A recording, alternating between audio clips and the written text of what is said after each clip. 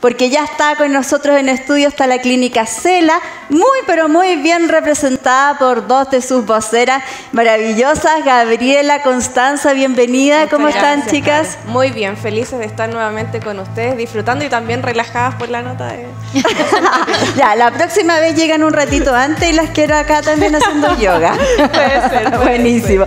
Sí, es rico comenzar la semana, pero algo muy importante también es sentirnos siempre listas. Sí, totalmente. Tal cual como tú me lo decías hace un ratito. Sí, es importante estar siempre lista para toda ocasión y la depilación láser es una excelente alternativa y estamos acá hoy también para resolver las dudas de quienes nos escuchan. Así que ¿les parece si continuamos con los mitos y verdades? Continuemos con los mitos y verdades, chicas, porque la verdad que habían varios que dejamos pendientes.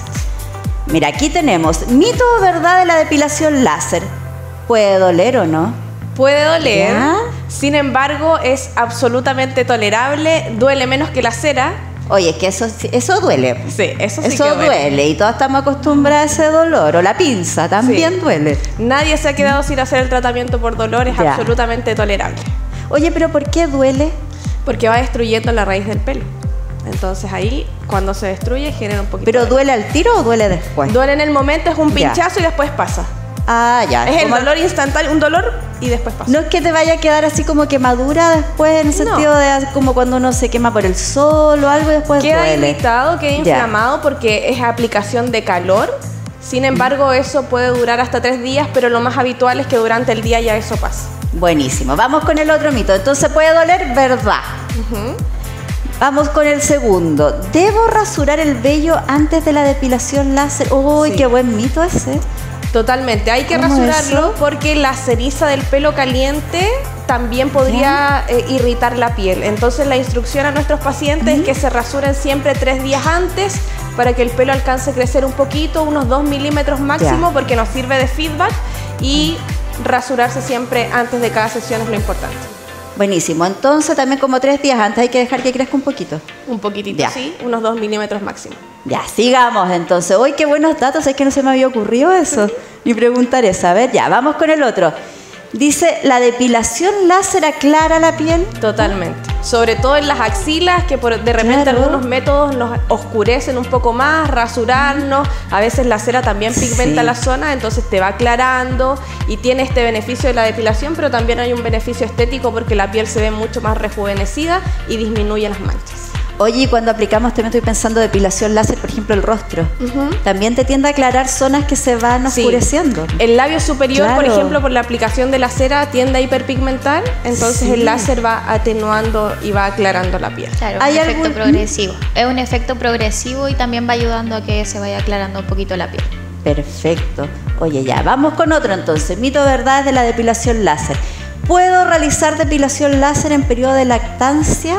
Sí, Qué buena. Absolutamente. Pueden ir las mamás a depilarse una vez que nace su bebé, porque el láser actúa selectivamente en la melanina, no ataca las estructuras adyacentes y por sus propiedades solamente penetra 4 milímetros. Por lo tanto, no hay ningún problema con que puedan hacer en el periodo de lactancia.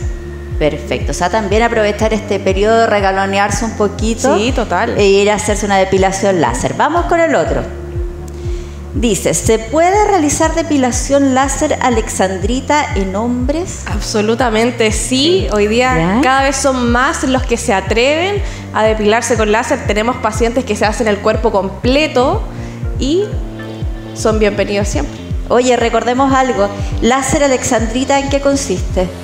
Alexandrita es un láser que ataca la melanina, que es esta proteína que le va a dar el color al pelo y a la piel. Y en el caso del pelo vamos a encontrar la mayor concentración de melanina en la raíz, por lo tanto el láser actúa directamente eliminando la raíz del pelo, que es lo que lo hace más efectivo en comparación a otros láser.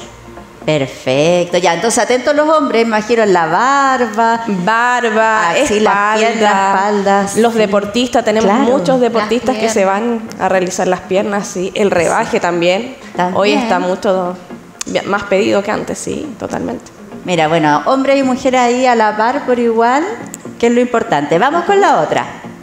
Dice, ¿todos los tipos de depilación láser son iguales? No, no todos los láseres son iguales y lo que difiere entre uno y otro en el fondo son las propiedades físicas y ojo porque hay muchas tecnologías que la venden como láser, sin embargo no lo son. La luz pulsada no es láser, ataca solamente la parte externa del pelo, sin embargo Alexandrita va directamente a la raíz y la elimina. Buenísimo. Ya, entonces ese es mito. Sí. Ahí tenemos uno de los primeros mitos. Vamos con el otro.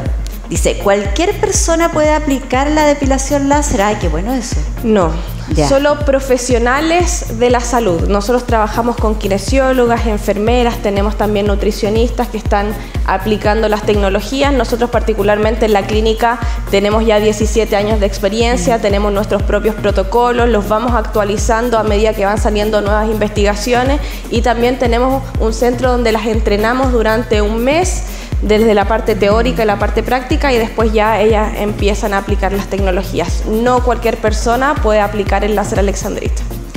Muy buena aclaración porque la verdad que depende de dónde lo apliquemos, quién lo hace, efectivamente el resultado que vamos a tener y no tener también efectos secundarios. Vamos con el otro. Dice, no puedes hacer la depilación láser bronceado. Ah, es así, es así. Las pieles bronceadas podrían generar una quemadura en la piel si se aplica el láser sobre ellas. Por eso es muy importante que mantengan un, margen al menos de tres semanas antes y tres semanas después para la exposición al sol y siempre mientras realizan un tratamiento láser tienen que utilizar un factor solar, ojalá sobre 30, reaplicarlo cada dos horas en las temporadas de sol. Súper importante que tengan ojos, por ejemplo, aquellas que manejan con los brazos, sí. las piernas digamos, cuando están sentadas en el volante. Son zonas que generalmente siempre están expuestas, el rostro. Entonces, muy importante dentro de la rutina diaria incorporar el factor solar. Ni te muestro este brazo con este. Sí, es verdad.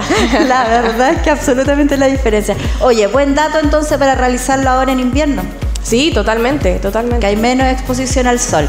Vamos con el otro, a ver, dice, si estoy con medicamentos o vacunas, ¿debo esperar para mi sesión? Sí, es verdad. Es súper importante, nosotros siempre le recordamos a nuestros pacientes que nos comuniquen si están tomando algún medicamento o si se aplicaron alguna vacuna, porque hay algunos que generan fotosensibilidad, es decir, lo hacen más sensible a la luz y su piel podría hiperreaccionar. Por lo tanto, siempre importante la comunicación antes de la sesión para que nosotros podamos darle las instrucciones a nuestros pacientes en función de lo que estén tomando en ese momento. Buenísimo, viste que tiene que ser con alguien que esté efectivamente, que sepa que sea del área de salud. Vamos con el otro, a ver. ¿Qué otro mito o verdad? Dice, si me rasuro entre sesiones me sale más pelo y grueso. Eso es un mito. Un mito. Y es porque el pelo es como un cebollín Siempre la raíz es más gruesa, el tallo ya es un poquito menos, es un poco más delgado y ya la punta es más fina. Entonces cuando yo rasuro, lo que hago es cortar la parte más fina del pelo y después creció el tallo. Es una apariencia al Claro, es como la apariencia. Aparenta ser más grueso, pero no lo es el mismo vello. Es el mismo, ya. Entonces da, lo mismo, entonces. Sí. Podemos hacerlo. Es un mito. Ok, un mito. Vamos con el otro. Dice, ¿teñirse el pelo ayuda a que se queme? Falso. Falso. O sea, tú te refieres a teñirse el pelo cuando, no sé, pues cuando se echan diferentes productos para aclararlo, los pelos de... Hay dos, hay dos casos. Uno que es cuando aclaran el pelo, ahí eso no funciona. Y lo otro es cuando tienen canas y lo tiñen y piensan que quizás el láser podría eliminar las canas porque no es así. El láser actúa en la melanina y un pelo cano no tiene melanina, por lo tanto no les va a salir. Así que apúrense. Aunque esté pintado, dale. Sí, aunque esté pintado tal cual, no, va, no se va a eliminar. Entonces siempre yo les recomiendo, por ejemplo, a las mujeres un poco más adultas que quieren sacarse el pelo del mentón, de las patillas, que lo hagan rápido porque después las canas no las va a eliminar aunque usted se tiña el pelo. Así que no se demore tanto y vaya a depilarse con láser. Hágalo antes, mientras se puede. Vamos con el otro. Creo que estamos. Estamos con eso. O sea, que a todas las barbas que quieran retirarse también y que ya son canosas sonaron. No pueden. Sí, no les queda otra que seguir. Chicas, se pasaron con estos mitos y verdad, porque la verdad es que uno eh, aprende muchísimo. Y Connie, yo sé que tú nos vas a hablar de los beneficios que tiene la depilación láser. Exacto, los beneficios más allá de la estética. Ya, perfecto. Eh, el láser eh, es un digamos, un súper buen método más ecológico que otros tipos de, depilación. Por ejemplo, al año una mujer se depilará, por ejemplo, con rasuradora dos veces al, mes, por lo menos porque el vello crece mucho más rápido. Y nosotros descartamos estas rasuradoras que finalmente son plásticos que dañan el ecosistema.